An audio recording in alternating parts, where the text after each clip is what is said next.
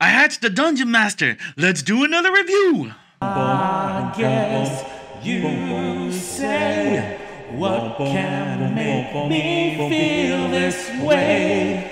Dungeon Master, my girl, talking about my Dungeon Master, Dungeon Master. Okay. Dungeon Master, the monster that got all people guessing is this monster male or female? And let me tell you, on Monster Wiki, man, you guys got opinions. And I mean opinions.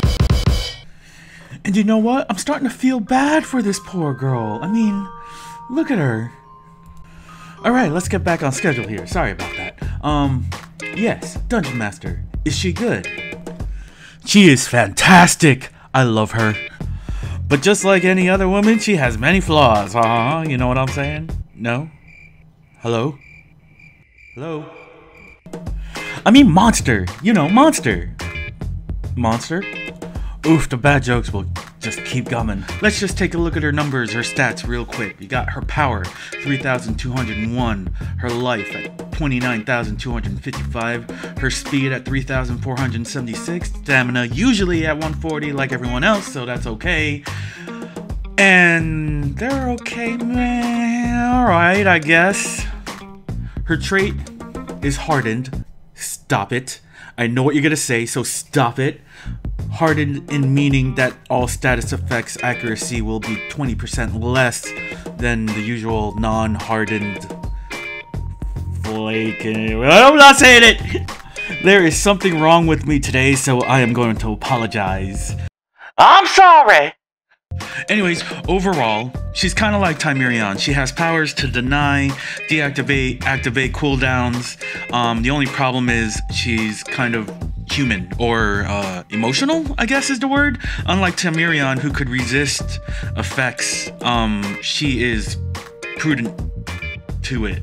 Is that the word? Prudent? Anyways, but she could be possessed. That means she could be used against you. Um, if used right with the right runes, relics, and maybe teammates, uh, she can be a very valuable person, including in PvP.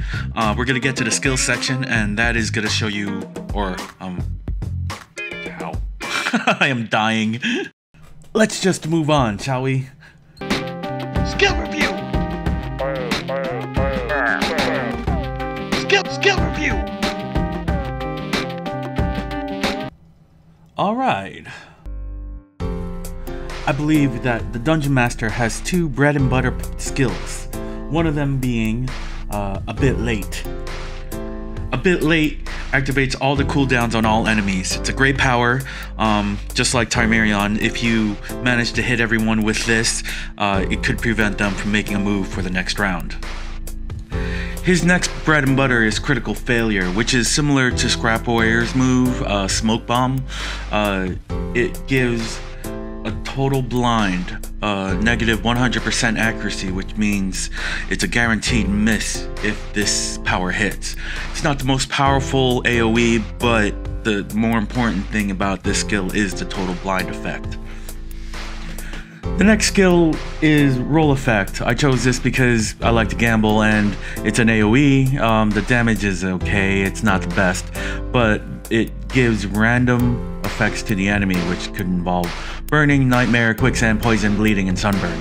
Uh, so it could apply one of those um, when it hits, and it's I, I believe it's pretty nifty, uh, including in a boss fight. This is very useful.